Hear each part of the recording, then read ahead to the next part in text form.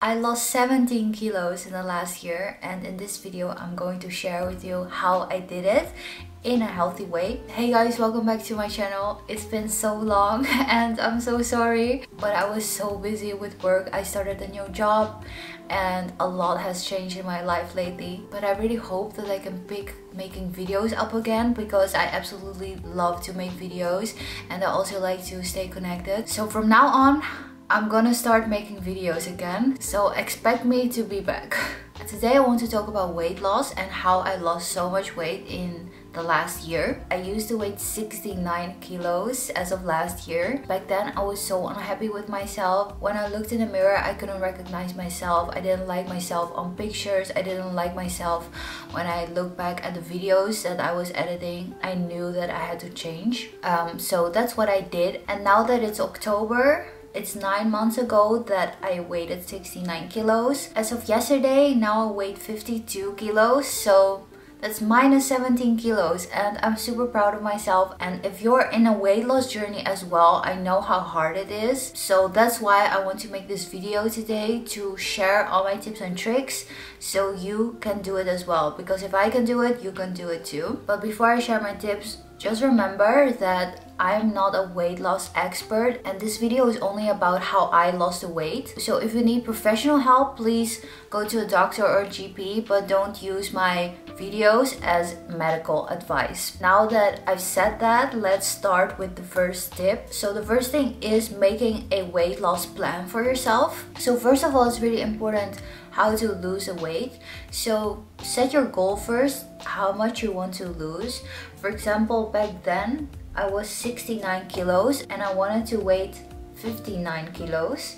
So for me, my goal was to lose 10 kilos. If you know that you want to lose 10 kilos, it's important to understand how to get there. You have to know how much calories equals 1 kilograms of weight or fat. 1 kilogram of fat equals 7700 calories. So the 7700 calories times 10 means I had to eat 77,000 calories less for me to lose that 10 kilos of weight. So knowing that I had to eat 77,000 calories less to lose the 10 kilos, I could calculate in how fast I wanted to lose the weight. It's really bad to lose weight super fast and to starve yourself, so it's more responsible to lose up to 2 kilos per month. So then I wrote down for myself how much I would weight after each month.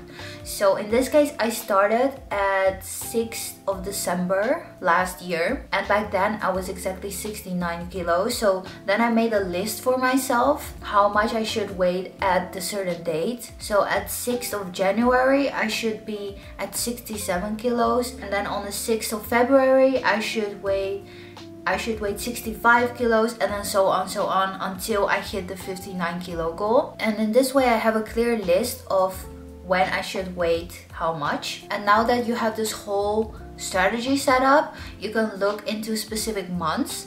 So if you want to lose 2 kilos every month, it doesn't sound that much, but it's actually pretty hard because it means that you have to eat 15,400 calories less every month to lose only 2 kilos of weight. So those 15,000 calories divided by 30 days, so every month, means that you have to be in a calorie deficit of around 500 calories every single day. And writing this down really helped me to visualize what I want and how to get there because I finally understood how to lose weight and breaking it down into each day of having a calorie deficit of 500 calories a day made it really clear for myself what to do every single day. I know that it may sound a little bit complicated if you have never done this before. So if you really want to make this plan and you don't know how to write write it down. I can also make a template for you if you're interested. So please let me know in the comments down below if there are any interested people. There are a lot of templates already.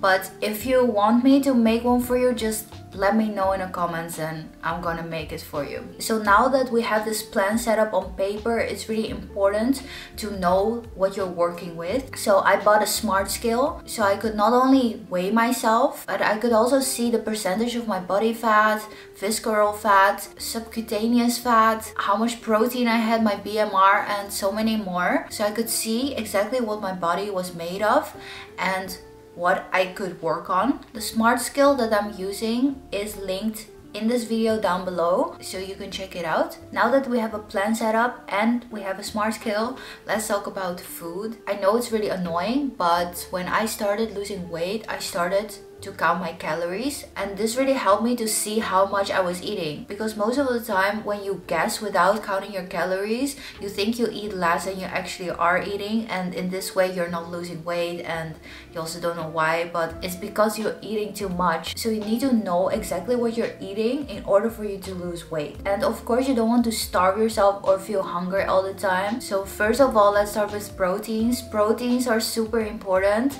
because they keep you full and they help building your muscles. When I just started losing weight, I used to eat two times my body weight of protein in grams per day. So when I was 69 kilos, I almost ate 140 grams of proteins each day and it really helped me to keep me full and it also helped me to not to lose my muscles instead of my fat. So for example, you can eat chicken breast. One piece of chicken breast almost contains 50 grams of protein. So then you already have a lot of protein by eating one piece of chicken breast. Next to that, I also eat quark or protein-rich yogurt that really helps me to boost my protein. I sometimes also eat protein bars or I drink a shake it's actually not super necessary if you're already eating super healthy but sometimes I like to eat it when I'm super hungry and I don't know what to eat. So that also helps you with your protein intake because most of those things contains 20 grams of protein and then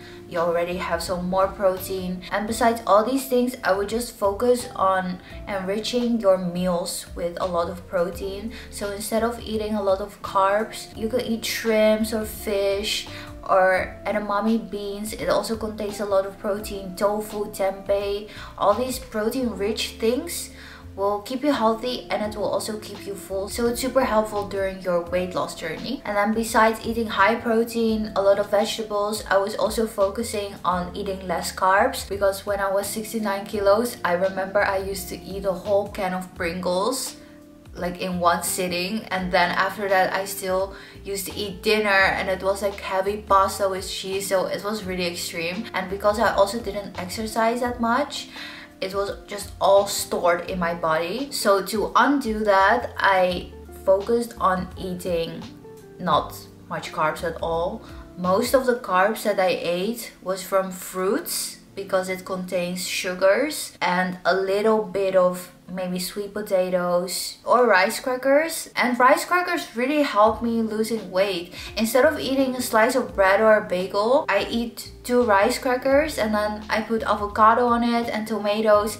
And it's actually so nice because one rice cracker only contains maybe 29 calories so it's almost nothing. Then the next thing that i did to lose 17 kilos is intermittent fasting. So intermittent fasting really helped me to reduce my eating window and it also helped me to have internal balance and in this way my body could also rest longer. I use this app, it's called Zero, it's not sponsored. I also use the free version but it helps me track when I'm eating and when I'm not eating. It looks like this.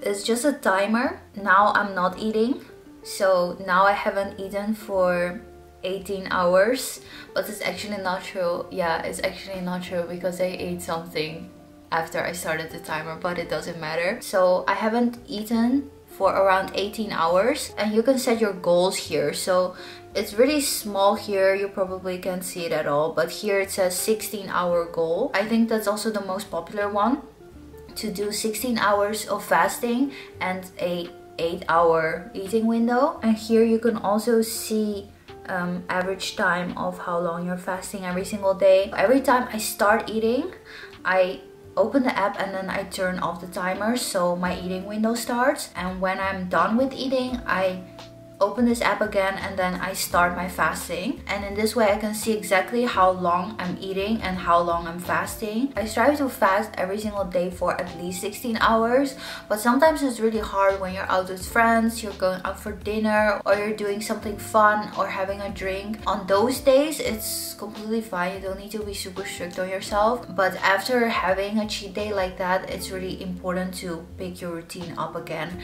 because losing weight is not just for this amount of time. It's a lifestyle that you have to keep up in order to stay this way. Because if you redo all your bad habits again, after you reach your goal, you're gonna go back to that old weight and we want to stay on our goal weight. So it's important to keep your routines. So now that we discussed a few things about my weight loss journey, I'm gonna share something really smart that I just learned recently and that's the order in how you eat your foods. So for example, now when I'm about to eat after making this video, it's important not to eat carbs or sugar on an empty stomach, especially if you're fasting for a long time. So I always start with or a salad or quark or some fats like avocado or nuts. It's also really healthy as well because like I said, carbs will turn into sugar in your body and if sugar is the first thing what you eat in the morning, it's really bad because your blood sugar will peak and if it's crashes after the peak, you're gonna start to feel hungry again. And in this way, being in a calorie deficit is gonna be really hard. So the main goal is just to keep your blood sugar as flat as possible, even during your eating window. I'm doing this by first eating proteins, um, fats, um, and fibers before I eat carbs like uh, fruits or bread or something else like pastries. If I still want to eat it, I make sure that I have a little foundation in my stomach with all the good stuff and then after that I will eat all the carbs and this way you kind of make a bed in your stomach so the sugar won't go directly through your stomach into your blood. I think this is a really easy hack just eat all the good things first and then if you're still craving some bad stuff it's okay to eat it but then just eat it after that. And then lastly the most important thing that has changed is actually my mindset. When I was overweight I actually didn't believe that I could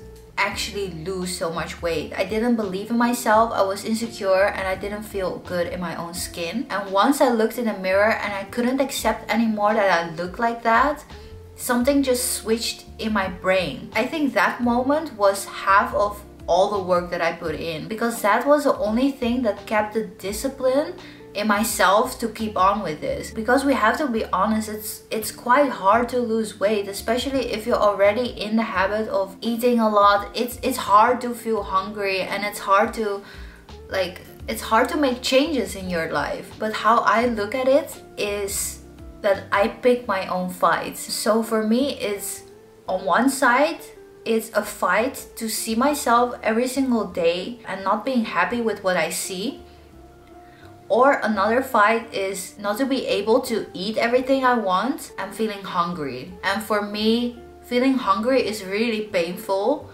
because I used to have nights that I couldn't fall asleep because I was so hungry but I feel like it's not as painful as looking at myself in the mirror and being so unhappy about it and going into a store and not fitting the pants. Those things hurt me more than having the discipline to lose the weight. And in this way, when I was comparing it with each other, I just feel like losing the weight is just so much worth it than just eating and comforting myself with food and that's also how I got to my goal. You don't have to have the same exact motivation but find for yourself why you want to lose the weight so bad and once you have your own reason you will find out that it will be much easier to stay disciplined and to hit your goal weight. So that's the video guys. I hope you enjoyed it. Thank you so much for watching my video all the way through. I really appreciate it. Don't forget to subscribe to my channel. Let's go to the 4000 subscribers together. Like this video share it with your friends and family. And that's it. I will see you in my next video. Bye